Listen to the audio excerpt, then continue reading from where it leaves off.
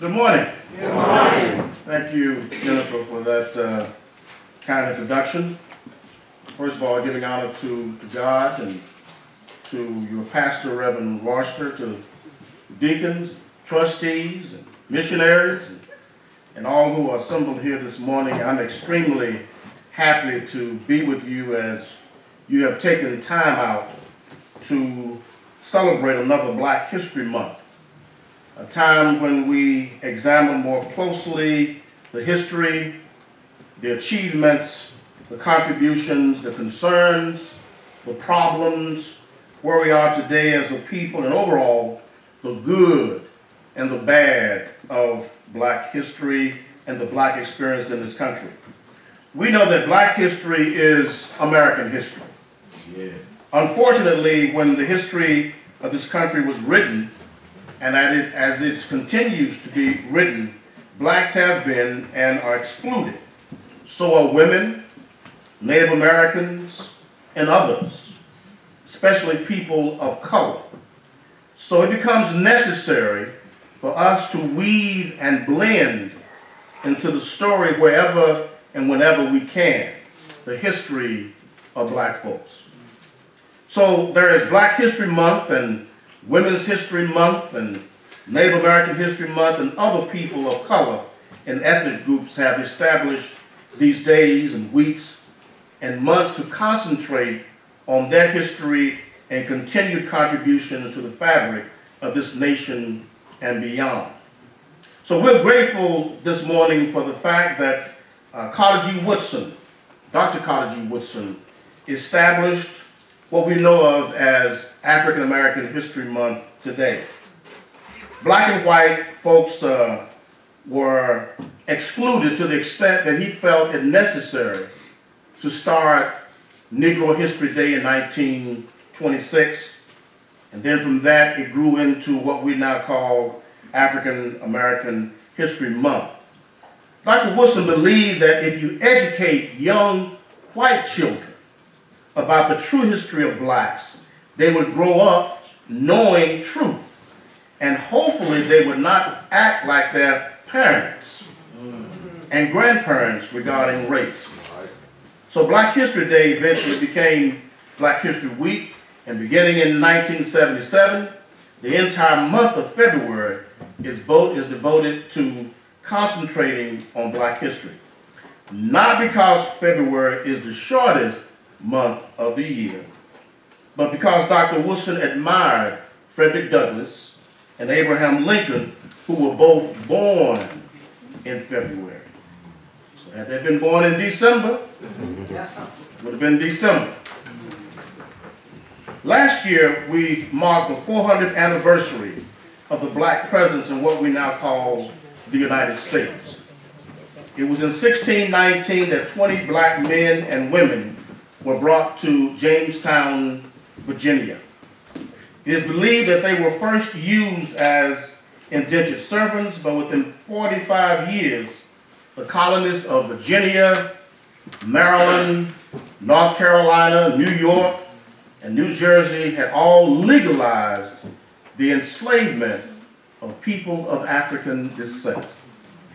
So for 400 years, black folks have endured in the face of unspeakable horror, black folks are still standing. If our ancestors could somehow peer through the telescope of time, they would say, despite everything thrown your way, y'all still standing. Amen. 205 years of legalized slavery in this country. Husbands watching their wives being raped parents watching their children being sold into slavery, legalized segregation, the lynching of thousands of black men and women, the bombing of churches and homes, political disfranchisement, the grandfather clause, literacy tests, gerrymandering, intentionally placing drugs in the black community to kill the civil rights movement, black on black crime. Far too many black folks are dying at the hands of other black folks. And so much more. And yet, still standing. In 1619, 20 black folks came to Jamestown, and from that 20, there are now more than 42 million black people in this country and still standing, and in most cases, standing tall. Amen. After everything they have thrown your way, still standing, the church is still standing. Amen. So many of our institutions and organizations are still standing. Sometimes our legs get weary, our hearts broken, our spirits broken, our resolve questionable. But by the grace of God, God's umbrella protection, and the abilities that he has bestowed upon us continue to lead us on this journey. But we have a lot of work to do to ensure that our legs remain steady and our resolve unquestionable. We are still standing, but there is so much more work to be done. This year's theme for our National Black History Month celebration is African Americans and the Vote. This year marks the 150th anniversary of the 15th Amendment that was ratified back in 1870, and the 55th anniversary of the Voting Rights Bill that was passed in 1965, the lifetime of many of us were alive when that bill was passed back in 1965.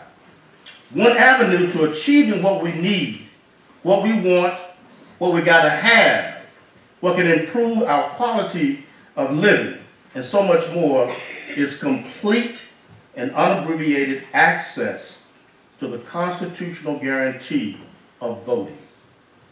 Something that continues to evade black folks almost exclusively through a century and a half of outright violence by the Ku Klux Klan, the Knights of White Camellia, the Rifle Associations of South Carolina and Louisiana, gerrymandering, the poll taxes, and good moral character and literacy tests, and all of those things passed in the southern states have kept black folks from the polls.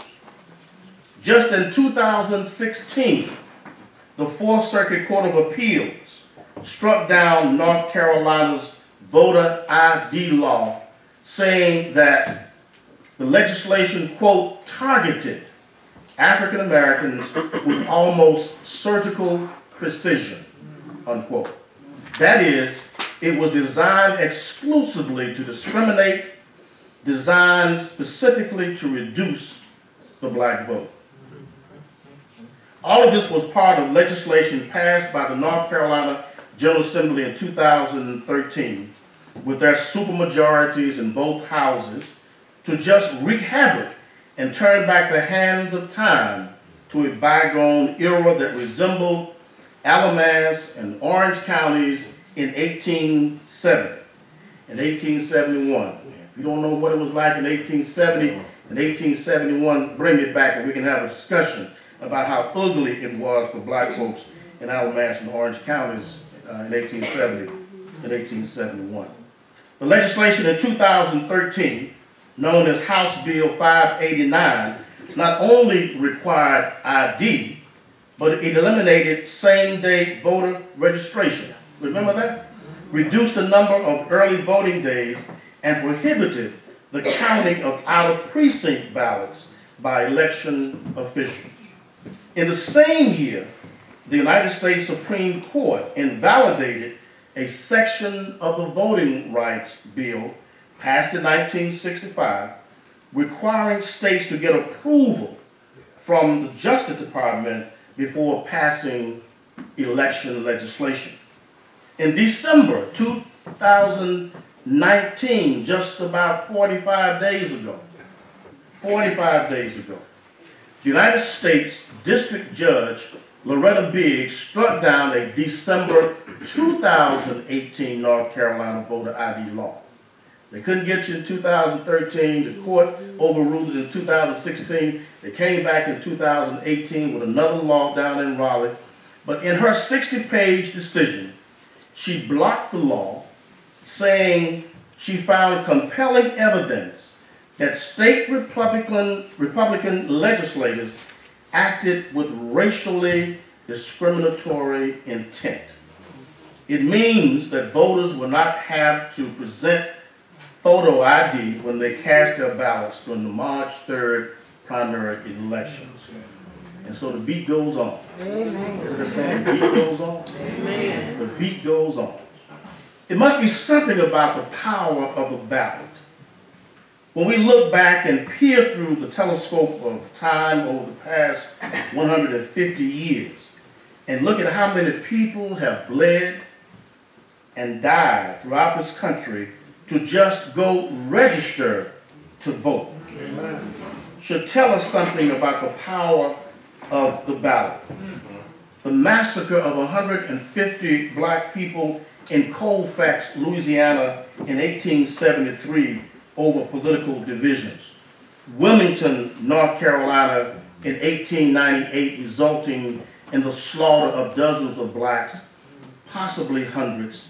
The Atlanta race riot of 1906 resulted in the death of dozens of blacks. The fear of the black vote. In Elaine, Arkansas in September 1919, legal disfranchisement had stripped the black community of the vote coupled with post-World War anxiety and an ethos of hate and racism, hundreds of blacks were killed in late September and early October 1919. Just a few months ago, a memorial to those who were killed in Elaine, uh, in the Elaine massacre of 1919 was recently erected. And there's Tulsa, Oklahoma in 1921. The entire black community was nearly destroyed. Rosewood, Florida in 1923. But not only did massacres occur in the South, but during what has been called the Red Summer of 1919, race riots occurred in Scranton, Pennsylvania, Syracuse, New York, and the biggest one where 43 people died in Chicago, Illinois. And though the ballot may not have been the precipitant cause of this violence, in nearly every case, it was an underlying cause. When I think about the future of black history, the lives of black folks in, in the year 2030, 10 years from now, in 2040, in 2060, I often wonder what it might look like for us in 30 years. In addition to fighting the powers that stand in the way of voting and registering to vote and then voting and carrying someone to vote, we can add years to our life and enjoy a better quality of life. it might take you back just a little bit and wonder why we, I'm talking about this. But we can add a little bit of quality to our lives by eating just a little better than we do. We need to take care of our bodies if we plan to be around. This is our temple. Oh, that bacon, and that sausage, and that fat back, some of that other stuff that are clogging our arteries on a daily basis is good, but it's absolutely killing us if we consume too much of it. In moderation. We have high rates of heart attacks and diabetes, strokes, arthritis, complications, and eventually death. And if we, gotta, if we don't exercise and watch our intake, our future will surely be a wee bit short. Let food be thy medicine. And we need to work hard to ensure that we elect people who will not destroy Medicare. Amen and Medicaid and other programs that these issues surround. In 2017, black Americans had a total income of nearly $800 billion. That is an income greater than most nations around the world. It's more money than any African nation on the continent of Africa. Hopefully, one day we will somehow pool some of these resources like other folks have done to support our community. Amen. If we decide that we're going to pool our resources, schools, daycare facilities, and grocery stores, credit unions, and social welfare programs could be established. Too often we somehow believe that you have to go out there to celebrate achievement, contributions, and accomplishments. But one only has to look around you to see that there is much to celebrate. And there are those we must recognize in our own midst who are pioneers in their own right. All history is local. No one's history is as important as your own. Rather than writing a biography of someone, write your own story. Write your autobiography. It is not self-serving. It is not egotistical to say, I'm going to write about myself. Because when you write about yourself, you're writing about everything that goes on around you. And then after you write your own, writing grandmamas and granddaddies will be a bit easier.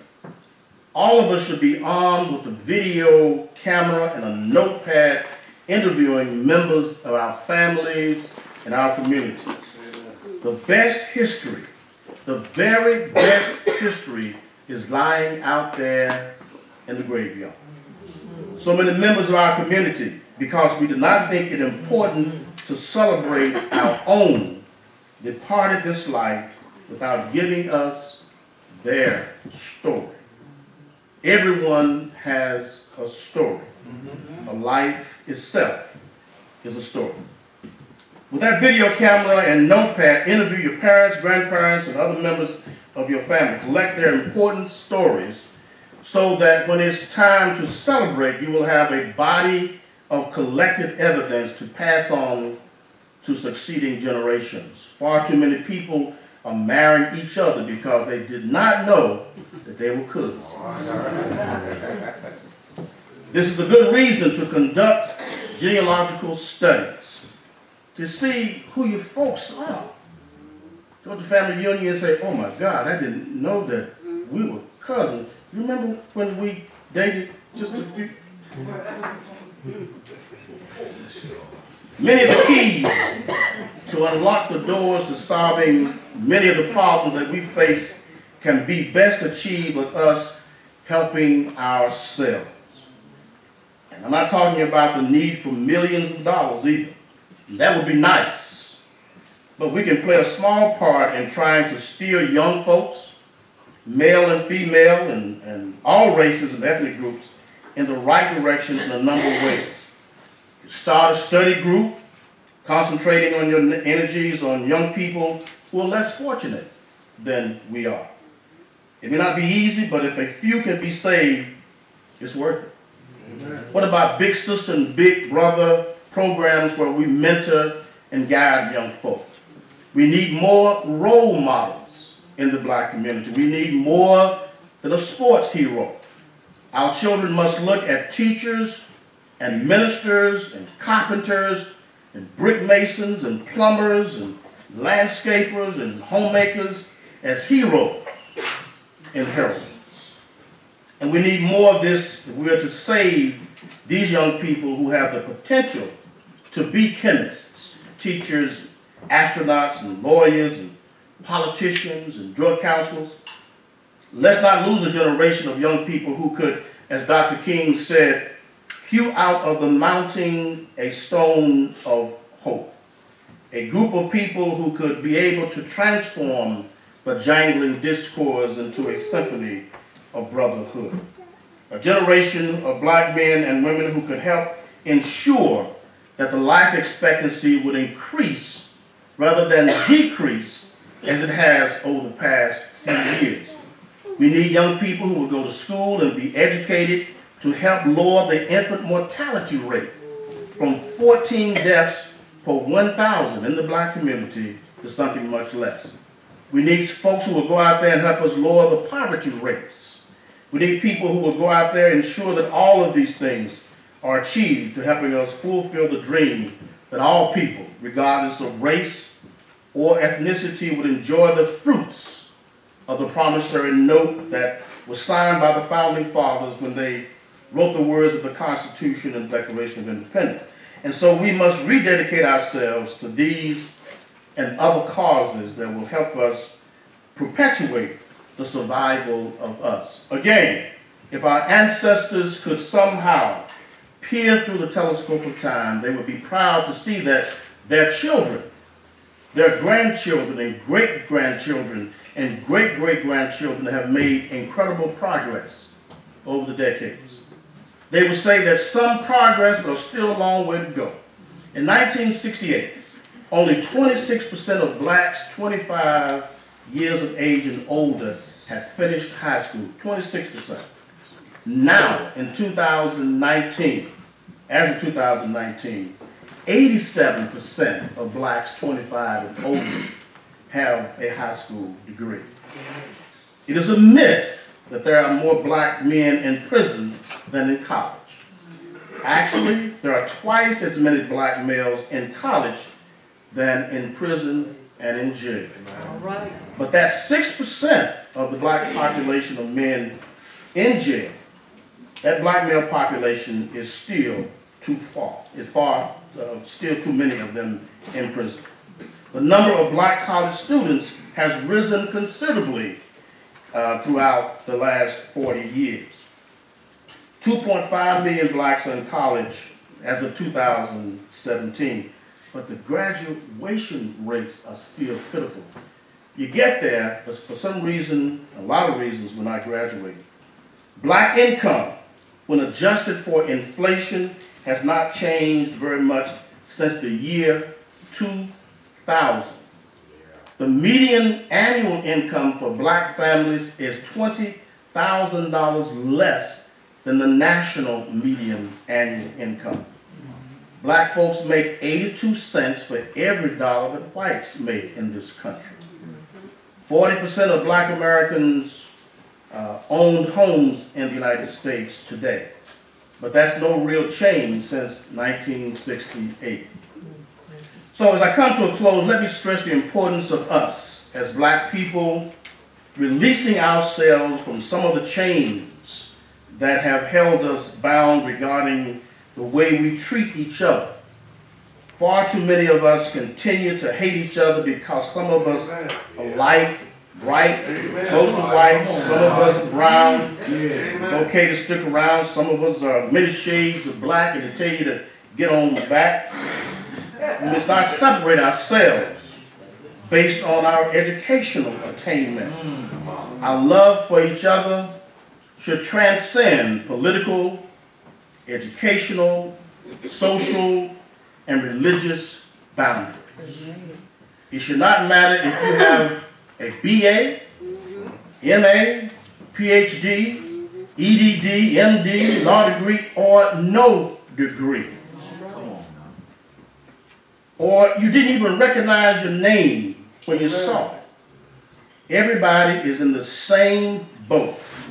No man or woman is superior to another, man or woman. But we are all God's children. Amen. And there's a, at least one constant in our lives. We call that constant change. It's inevitable. Change will come. So I take this time out to go back to 1964 and say what Sam Cooke said about that. I was born by the river in a little tent. Oh, and just like the river, I've been running ever since. It's been a long a long time coming, but I know a change gonna come.